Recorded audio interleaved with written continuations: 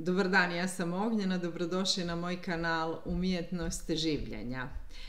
Danas ćemo razgovarati o tome kako ćemo postaviti granice sa familijom, jer ovo je možda aktualna tema i uvijek je, ajmo reći, uvijek je korisna.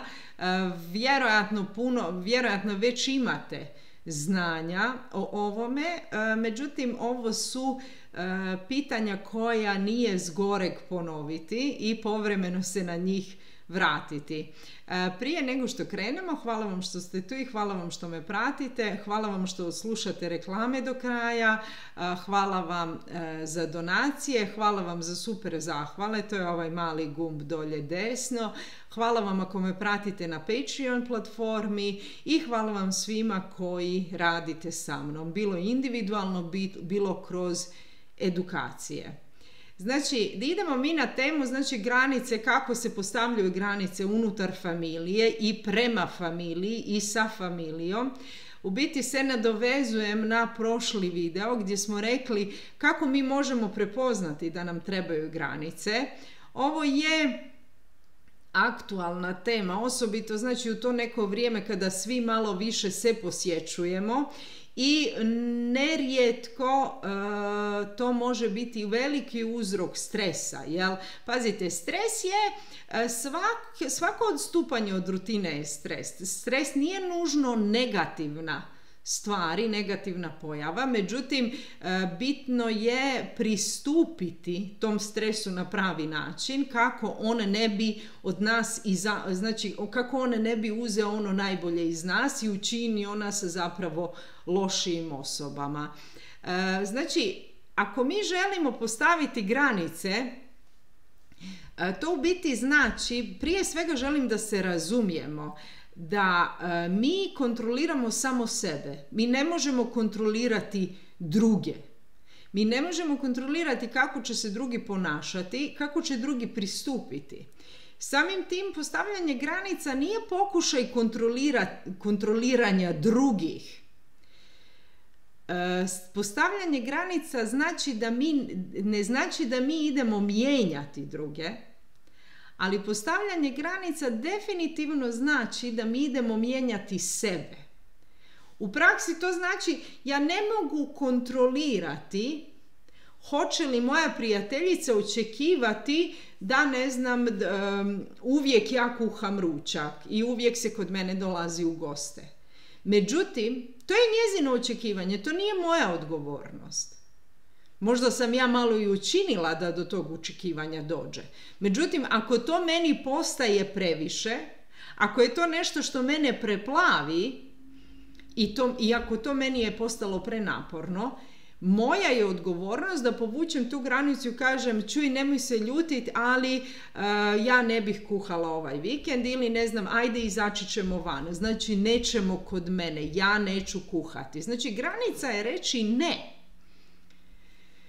I u tom smislu na koji način mi postavimo granice i ako govorimo o familijarnim odnosima možda je dobro rekapitulirati kako ovo učiniti poneviše zato što familija su ljudi koje mi znamo cijeli život i familija su ljudi e, koji su skloni nas staviti u uloge koje smo imali možda jako davno.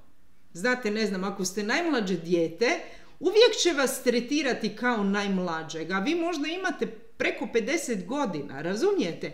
I e, jako i vaše odgovornosti zaći iz te uloge i ponašati se ne kao najmlađe dijete, nego se ponašati kao odgovorna osoba jel, od 50 plus recimo. Jel? Tako da e, u tom smislu sa familijom treba biti, e, treba možda biti pripremljen. Jel? Zato što ja ne govorim da u tim, tom postupanju od strane članova obitelji ima malicije. Oni to možda jednostavno rade nesvjesno jer su naučeni na te vaše uloge. Međutim, vaše je kako se postaviti, a da se neka ponašanja ne ponavljaju. Prvo što ćete napraviti kada postavljate granicu s familijom je da u biti identificirate Šta je to što nije ok? Znači, vi sami sebe, znači ako vidite da, da vas neke pozicije zamaraju, da su vam neke stvari previše, zapravo se pitajte točno što je to što meni smeta.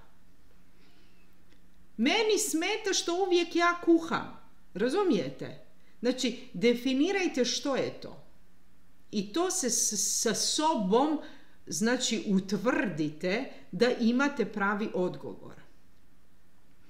Kada ste sigurni u taj odgovor, vi zapravo e, iz tog odgovora vi e, ćete izvući koju potrebu imate. Znači, artikulirajte tu potrebu. Znači, e, nemojte se ljutiti, ali ja ne bih kuhala. Znači, jer šta je tu suština? Ja imam potrebu da više ne kuham. Zašto? Ja imam svoje razloge, nema veze. Postoji jako puno načina na koji način e, kojima se ovakva pozicija može prevazići. Jel? Nigdje ne piše da uvijek moram ja kuhati. Jel? Znači ovo je jedan bazičan, jednostavan e, primjer. E, čisto da bi bilo jasno, jel? ali najčešće u tim bazičnim stvarima e, se znaju gomilati velike, velike frustracije. Tako da, znači, to je jedna jednostavna rečenica. Mo, nemojte se ljutiti, ali ja ne bih kuhala. Nerijetko, kako rekoh, znači ako se ne radi o familijarnim odnosima, ove granice je nekako lakše postaviti. Ljudi nas... E, ljudi koji nam nisu familija su skloni na prvu nas shvatiti ozbiljno i uvažiti ono što govorimo. Međutim, u familijarnim odnosima jako često imamo baš tu situaciju da nas se ne doživi. Ono, ko što si pošizila danas, naravno da ćeš kuhati. I tu imamo, znači, taj četvrti korak. Ustrajte u tome što ste rekli. Znači, ustrajte u tome da nećete kuhati. Znači, jednostavno kažete, ali ja sam rekla da neću kuhati. Šta ne čujete dobro? Ne mogu kuhati, nije moj dan. Rekla sam da neću kuhati. Znači, jednostavno ustrajte u tome, jer ako ne ustrajete, onda uopće nema smisla u startu postaviti granicu, jer sami sebe diskreditirate. Ako ste rekli da ćete nešto učiniti, učinite to. Isto vrijedi i sa suprotne strane. Ako ste rekli da nešto nećete činiti, nemojte to ne činiti. Nemojte to činiti. Znači, budite ustrajni i ne mijenjajte svoje odluke, jer vi ste ih donijeli. Jer ako vi mijenjate svoje odluke, onda nemojte se čuditi da vas ne doživljavaju. Vi morate biti ustrajni, jer onda će drugi ljudi shvatiti da mislite ozbiljno. I ako vas ne doživljavaju unatoč tom vašem ustrajanju, znači rekla sam da neću kuhati, onda jednostavno artikulirajte, znači recite koje su posljedice znači te neke e, navalentnosti sa druge strane. Znači koje su posljedice toga e, da e, vas ti članovi familije ne doživljavaju, odnosno ne poštuju vaše granice. To znači u ovom slučaju reći rekla sam da neću kuhati, a ako budete tako navalentni i, i, i nasilni, ja vas više neću posjećivati ili neću vas više pozivati ili neću više izlaziti s vama. Razumijete? Znači, jasno ljudima dajte do znanja čemu može voditi to njihovo, taj njihov stav nepoštovanja vaših želja i vaših granica. Ovo nije uvijek tako lako.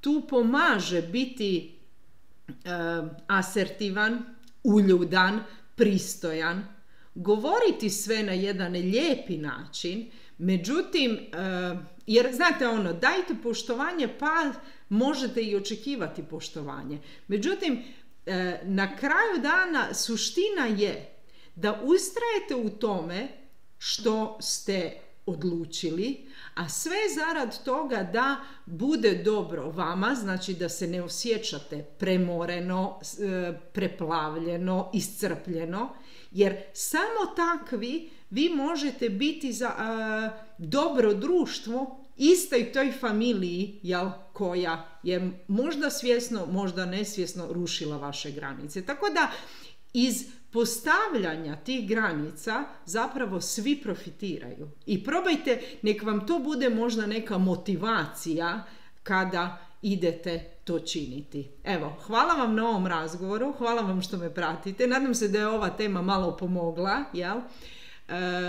hvala vam, znači, e, što me pratite, hvala vam na komentarima, da pa će iskomentirajte. E, hvala vam što radite sa mnom, hvala vam što ste u mojim edukacijama, a do sljedećeg razgovora budite mi zdravo, dobro i veselo. Ćao!